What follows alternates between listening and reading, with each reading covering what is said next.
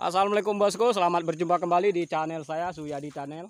Edisi saya siang ini berada di perkebunan kelapa sawit Bapak Purwoko. Ini dia punya pembibitan kelapa sawit juga ini bosku. Oke bosku, jangan lupa untuk like, share, komen, dan subscribe-nya di channel saya Suyadi Channel ya bosku. Saya doakan yang sudah like, share, komen, dan subscribe mudah-mudahan banyak rezeki, panjang umur, dan sehat selalu ya. Nah, di sini saya mau mengikuti Mas Purwokonya ya. Nah, dia punya bibit kelapa sawit cukup lumayan banyak ini. Enggak takut ya bosku dia buka pembibitan kelapa sawit di hutan ini ya. Di kawasan Sungai Putih. Apa ini Mas namanya? Sungai Putih apa? Harapan Jaya. Harapan Jaya. Nah, ini Mas Purwokonya yang punya pembibitan kelapa sawit ya. Ini untuk mau ditanam di mana ini Mas? Rencana di lahan sekitaran ini. Sekitaran sini. Di sini banyak orang juga ya. Apa nginap sini? Penginap. nginap sepeda sepeda motornya pun banyak ini bosku Hmm. ini sebagai apa karyawan apa ini Mas Pur Operator Senso. oh operator Sinsu ini enggak gesek ya ini lagi istirahat kepanasan ah ini Mas mau nanya ini bibit ini bibit apa namanya yang ini Mas PPKS varietas yang ngambi. yang mana Yang ini. yang ini ya Hmm. hmm. Pelepah panjang. pelepah panjang kalau buahnya panjang enggak Sistem model banyak lonjong. oh lonjong Oh. Turunan marehat. turunan marihat Ya. ah, yang sini Yang sini Sumbio PL 1 semiklon. yang ini Yang ini ah, ibunya ini lagi apa ini mupuk apa apa bu sedang merumput. ngerumput oh harus dirumput ini mas Iya. bukan biar- sawitnya bibitnya yang dirumput biar ya Lama ku- apa nggak naik ke itu kan? Hmm. ke daun Ke daun. hamanya apa ini biasanya yang nyerangin biasanya Hmm.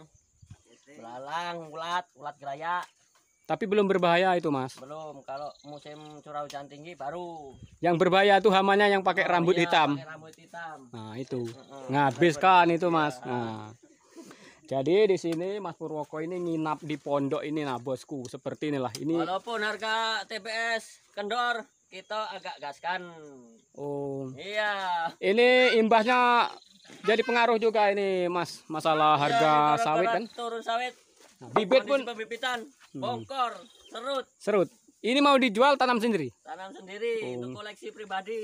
Oh, saya kira kalau dijual ini saya mau pesan juga kan Insya rencana gitu. Allah tahun depan nanti cari modal dulu. Hmm.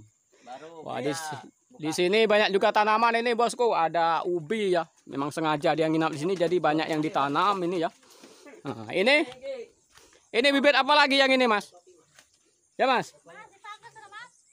Yang ini apa namanya? Banyak kali bibit ini Mas yang Yang masih kecil. ini dari PT Salim Informas Pratama. Yang ini Sain Ma, Sain nah, DP Sain, dipisahin ya. Sarana Inti Pratama. Yang Ya. ambi. Yang ambil. Empat. Umur berapa bulan ini? Kurang lebih hampir lima bulan. 5 bulan. Ya. Nah, kenapa yang ini ada di sini dipisahin ada apa? Karena tidak ada tempat. Oh, nggak ada tempat. Saya kira nggak ini ini sortiran. Ini sebagian anu apa? ah kembaran. Kembaran gimana? Kembaran, kembaran yang yang ini yang Sumbio PL. Oh, ya ya. Hmm.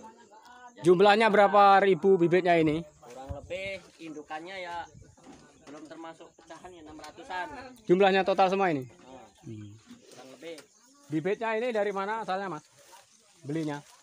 yang ini dari temen di Trawas Mas Andi Susanto Ah, ini tadi yang dari mana? Terawas ya, Pak? ini dari kawan kita order sama Mas Andi Susanto alamat di Trawas Terawas ya, asal usul bibit Pekanbaru Pekanbaru. dari Hmm. PT Salim Infomas Pratama DP Sain Sarana Inti Pratama Oh, ini. anak perusahaan PT Salim Oh, ya. karakter bibit spesifikasi buah panjang lonjong seperti yang ambi juga yang ambi ini di PSN 4 Yang Dura?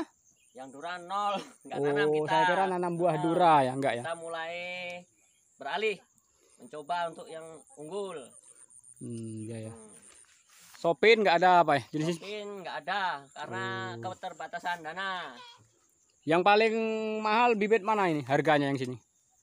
di sini nggak ada mas termasuk itu standar lah harga untuk Standar. masih terjangkau untuk di kalangan petani seperti kita Hmm. kan kalau yang mahal masih banyak Ya ya ya. cuma kita belum kemungkinan Kalau mau jual satu batang berapa ini, Pak? Ini satu batang usia 9-10 bulan ya kisaran 50 sampai 60. Cek kepanasan ya, Pur. Panas. Ya, yang ini tadi dari terawas. Jadi ini enggak untuk dijual ya. Untuk koleksi Sendiri? pribadi, ya, sendiri Hmm. untuk ditanam. Jadi kalau kalau untuk jual berapa kira-kira ini Mas Pur satu batang kelapa sawitnya bibitnya? Usia 9 sampai 10 bulan ya kisaran 50 60. Harganya? Harganya per pokok. Waduh. Wong sawit murah kok rego bibitnya mahal sekali kalau Mas Pur, Mas Pur. Walaupun Pak De agak kurang bersahabat Hmm. sama petani seperti kita, kita tetap guyur. Tetap semangat ya. Iya. Hmm. Tapi kalau bibitnya bagus ya semangat lah. Ya, Wong harganya satu aja berapa tadi 50? 50. Waduh. Mudah-mudahan nanti seperti harapan yang kita inginkan. Amin. Amin. Hmm. Oke bosku, buat yang sudah nonton channel saya, jangan lupa untuk like, share, komen, dan subscribe-nya ya. Hmm. Jadi seperti inilah di pondok Mas Purwoko. Hmm. Sini banyak motor. Ini ada anaknya, istrinya ini mau masak ini. Hmm.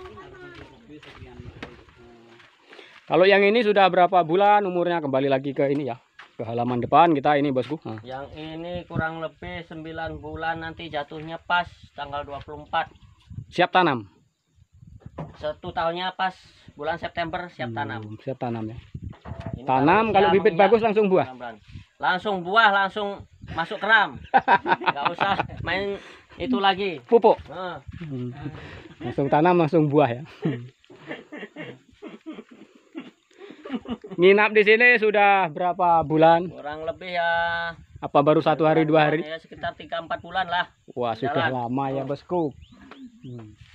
Jadi memang nekat nginep neng kebon ya. Ah, iya ya benar benar benar. Kita nginap lebih Hmm. damai. Ya ya ya. Ah. Sengsara membawa nikmat ini Mas Pur Ah, namanya. Benar benar benar. Hmm.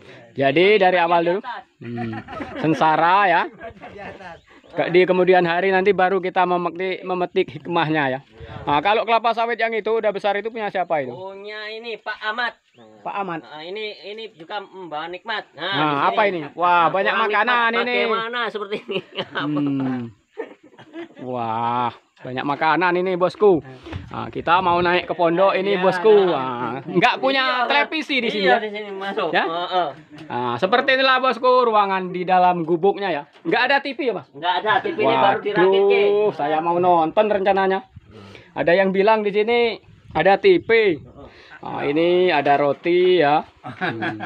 Makanan gorengan pun ada. Dokumennya dituduhnya, Ra. Nah, seperti inilah ini para anak buahnya bosku lagi istirahat. Banyak anak buah ini Mas Pur ini ya. Kopi-kopi. Nah, ini yang depan ini punya siapa ini? yang sudah Masih. di apa ini? Ampun, ampun. ampun. Di Eksa bukan? Pakai Eksa ya manduknya ini. Hmm. Cukup luas sekali kebun bakal kebun kelapa sawitnya ya bosku. Hmm. Nah, di, di anu, Nah ini, bibit kita bibit resmi bosku. wah ini surat-suratnya. Bukan bibit abal-abal ini bosku yang punya pembibitan ya. Bosku. Nah ini ada sertifikatnya ya bosku. Hmm. Mantep. Hmm. Ya. Ya ya ya. Nah, ini dari PPKS. Hmm. Yang ini Dari Pak Lurah, dari Pak Lurah. Ini Pak Camat. Pak Camat. Oke bosku, buat yang sudah nonton channel saya, jangan lupa untuk like, share, komen, dan subscribe-nya ya. Saya doakan juga yang sudah like, share, komen, dan subscribe, mudah-mudahan banyak rezeki, panjang umur, dan sehat selalu ya bosku. Nah, jadi jarak dari rumah, berapa kilo ini Mas Pur? 5 kilo untuk ke kebunnya ini bosku. Bayangkan kalau bibitnya dijual, ada yang mau beli, ngangkut dari sini, bawa ke dusun desa Setia Marga. Hmm. Jauh ya, 5 kilo jaraknya. Iya kalau bisa dibawa pakai mobil. Nah, kalau pakai langsirnya pakai motor, bayangkan bosku, susah kan? Nah, tapi di sini jalan ke kebunnya ini sudah bisa diakses oleh mobil ya. Mobil carry. Hmm. Ini bakal kebunnya dia mau nanam di sini cukup lebar sekali ya bosku.